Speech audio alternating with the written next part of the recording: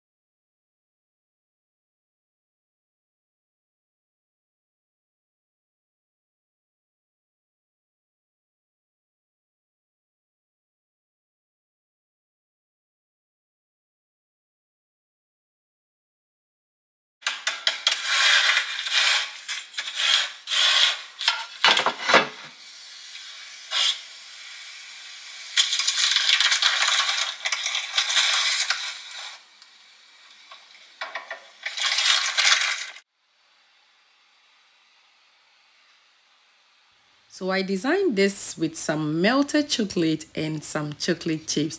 Thank you for watching guys and I will see you guys in the next one. I love you all and be safe out there. Bye.